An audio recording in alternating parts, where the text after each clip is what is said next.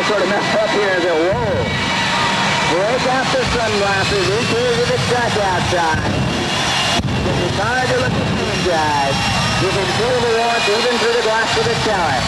Hammack, moving up. Coffee, trying to fry the ambulance.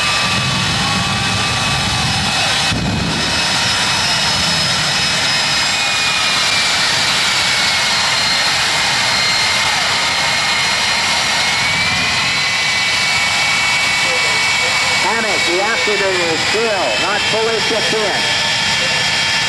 Proffitt in the right hand lane, making the burner pop down. Just draw fuel in the afterburner, ignited up, and pow. Oh, it. He loves it. He loves it. All he can see is the cheers coming from the crowd.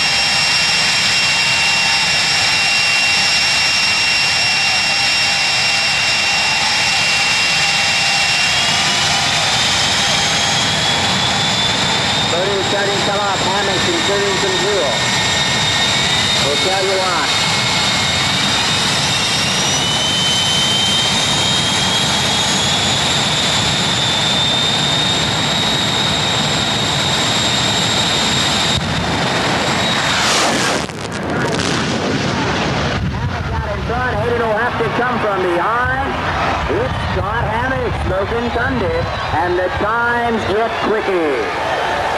A 620 at 260 miles an hour for Hammack. A uh, 631 at 252 for Proffitt. Next. The smoke pouring out from behind as he warms it up from Proffitt. He'll clear out the area. Flame from uh, Smoke N Thunder and the quickest of them so far with a 620.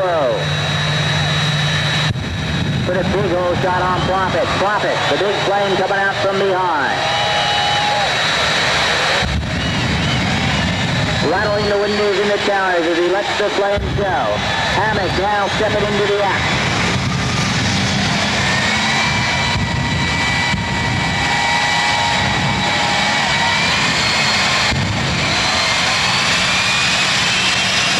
Reading Lake.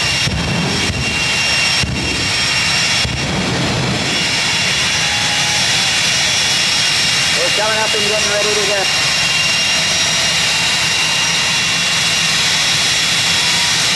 Smoke N Thunder in the right hand lane. Hayden Proffitt in the hot streak. Here's that on your favorite. It's a new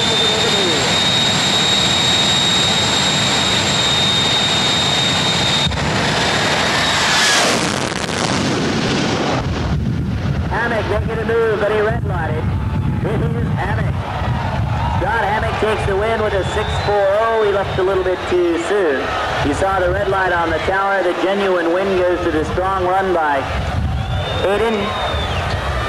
He ran a 629. 629, 252 miles an hour. Good run. Lot of speed out of Hammack's car. Uh, Smoke N Thunder to 640, but he ran 265. Nice and strong.